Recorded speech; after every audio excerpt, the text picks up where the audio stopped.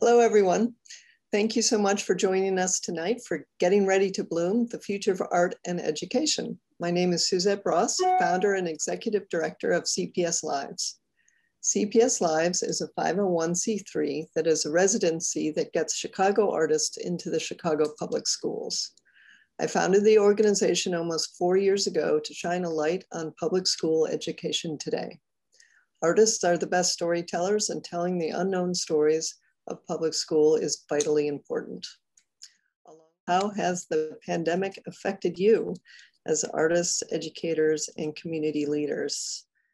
What we did was switched over to now how do we support the community and families? So we became a food site. So every day we gave uh, we fed about 200 families, um, different meals and so forth. So coming in and taking pictures uh, just added another life uh, for us because then we were able to share those pictures with students. And you had some students saying, "Oh wow, I remember this," or uh, "I can't wait to get back." But it also gave them a, the story of hope.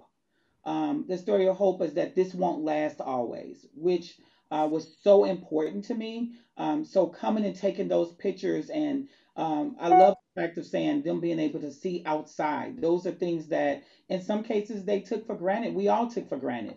But Marzan coming in, taking those pictures, just added a new life and a new layer to everything that we were going through to bring art in another facet um, that students didn't necessarily think about. That while things were going chaotic, remember this pleasant piece. Remember, look out the window. It just sent so many messages um, to our students to help them to even uh, just remember the small things. I think sometimes we get caught up and we forget about the art. Look out the window. Look at the smiles let those smiles now come back to you again. I've been wanting to photograph in a high school to, to understand what teenagers are about, how I can connect and understand them.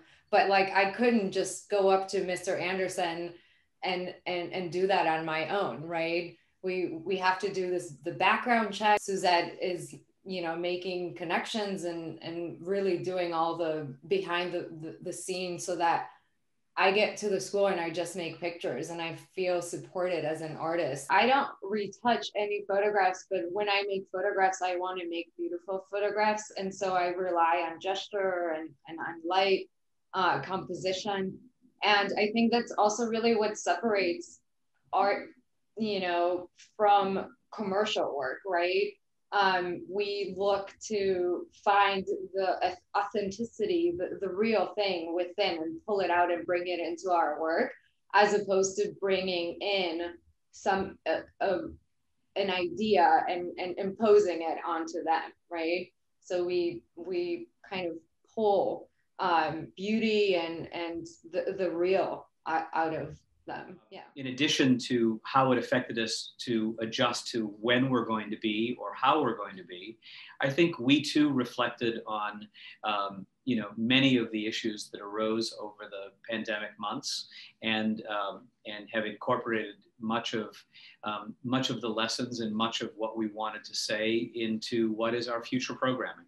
Um, you know, it's it's not just talking about recognizing uh, DEI issues. It's it's actually being active and incorporating. And I'm proud that Expo Chicago has, you know, always been um, uh, on a, on the forefront of programming. Uh, but we can do more. And when I think about the future of education and how the pandemic has affected um, our situation, I think about our students who um, are the, the people who are creating our communities right? They're the ones who are like coming up the next generation. And i think it's really important for them to see themselves as cultural producers and not only people who are experiencing and, and consuming culture. When i think about photography and what photography can do for us i think about how it can be used as an artistic expression or like recently a tool to find water on Mars. And if we find water, we find life. But it can also be used to document our personal lives. And from what we have seen in, in the news recently, um, phone cameras have, can change the world in, in a positive way. So when I think about photography, I think about that it can be used as as a tool for education, whether it's like art or sciences.